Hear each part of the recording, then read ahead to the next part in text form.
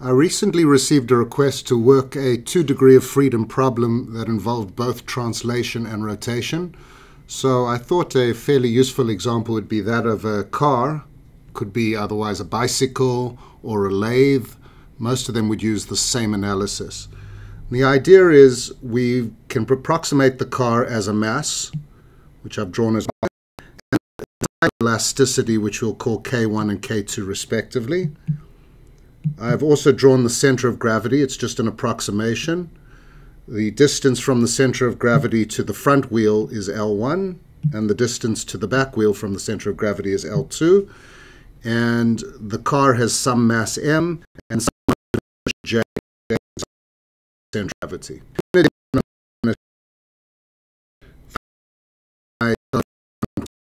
a periodic force could be thought of as perhaps the engine which is uh, moving has some sort of an imbalance. So you could have a force which was something like F of t is equal to F sub 0 times sine of omega t. Something like that. Not important for the purpose of this problem. Perhaps, where there's some sort of a, a elastic connection between the supports in the ground. And we'll proceed using Lagrange's equations to try to find the equations of motion. So the starting point, as always, is to find the kinetic energy, which we'll call T. Kinetic energy for this is very easily written. It's just 1 half times m. Oh, I must talk about coordinates. I've gone ahead and uh, called x, x in the downward direction, the displacement of the center of gravity. Um, I come from an aerospace background. We typically call this a plunging motion down. And while it's bouncing or plunging, it's also pitching. So this car is, let me draw it here, it's bouncing up and down. And at the same time, it's rotating. We call this pitching. So we've defined the pitching as an angle theta, which is positive in the clockwise direction. And again, x is positive downwards, and it's the location of the center of gravity. Uh, it's probably useful to mention that I could have chosen other coordinates, right? I could have said, oh, we will call this, let me just do it in red.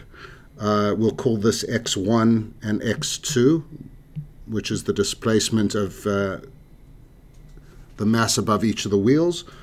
Or I could have said, let's just call this x over here and theta. It's fairly arbitrary. It Based on the coordinates that you choose, you might find different coupling. Because we can write the velocity of this mass, the, the, the rotational velocity is just theta dot, and the pitch plunge velocity is just x dot, we should expect, since there's no coupling in the velocity, that we should have a diagonal mass matrix. On the other hand, since the displacement of the springs involve both x and theta, we should expect that there will be coupling in the stiffness matrix. So the stiffness matrix will not be diagonal.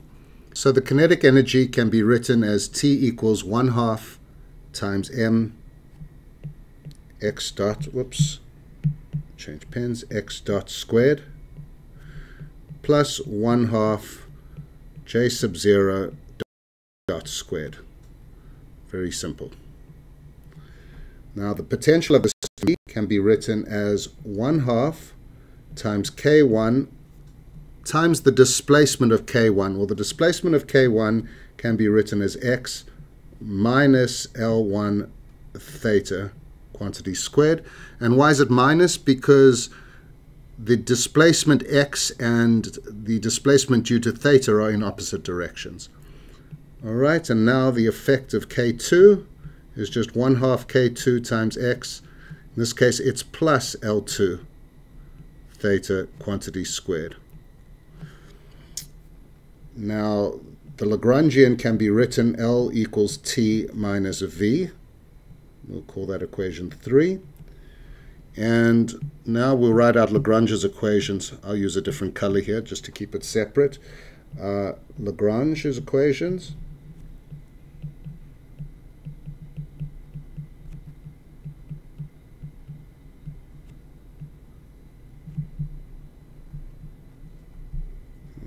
can do better than that. Okay.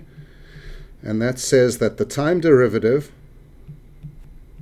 of partial L partial Q dot sub i minus partial L partial Q sub i is equal to the generalized force, capital Q sub i. And we'll call this equation 4. Okay, so we will substitute equations 1 and 2 into equation 3 to get the Lagrangian, and then equation 3 is substituted into equation 4. Let me write that out. So 1 and 2 get substituted into 3, which in turn gets substituted into 4.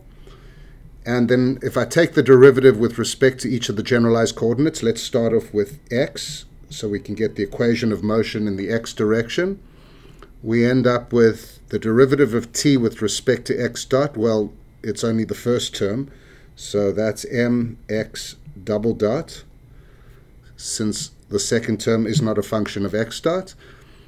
And the derivative, the negative derivative, well, it's two negatives, right? Negative v, and we're taking the negative of that. So it's actually just the positive derivative of v with respect to x, and that is plus k1 x minus L1 theta, since the 2 cancels with the half, plus k2 times x plus L2 theta. And that is equal to f of t.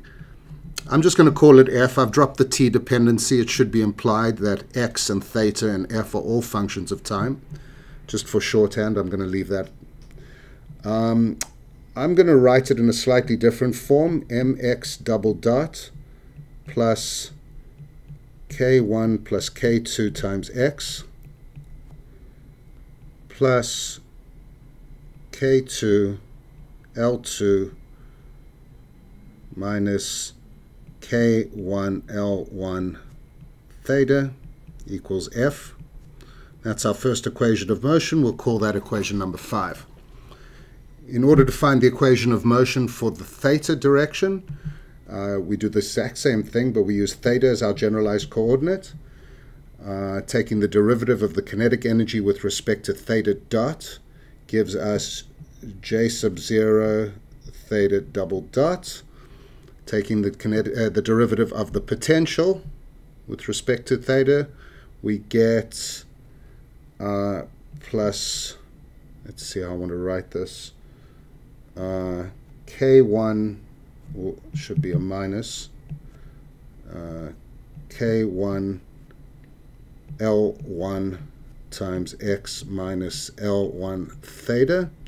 That's because the derivative, the 2's cancel the half, and the derivative of this is just minus L1, which is why I've taken it out in front.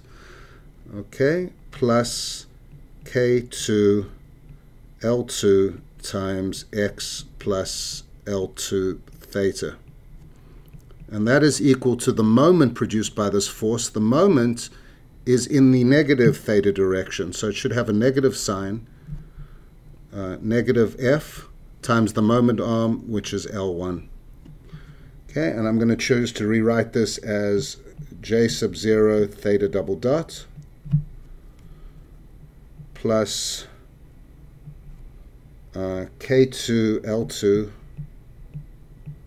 minus K1 L1 times X plus K1, then the minuses cancel, so it's K1 L1 squared plus K2 L2 squared times theta is equal to minus F times L1 and we'll call that equation 6. And then finally, I'm just going to write 5 and 6 in matrix form, since that's how we like to write these things. Um, makes it more convenient. This implies the mass matrix looks like M, 0, 0, J sub 0 times X double dot, theta double dot,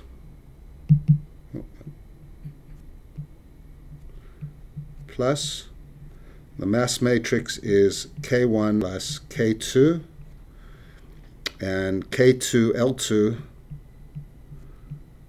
minus K1L1. Uh, same thing here, K2L2 minus K1L1. Of course, this should always be symmetric. If it isn't, you've done something wrong.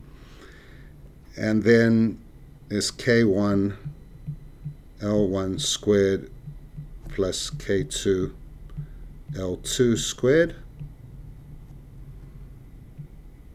And that's times x and theta. And that equals F minus F L1. And there you have it. These are the equations of motion and bouncing. Uh, again, you can use these same the same analysis for a lathe or for a bicycle or a motorcycle.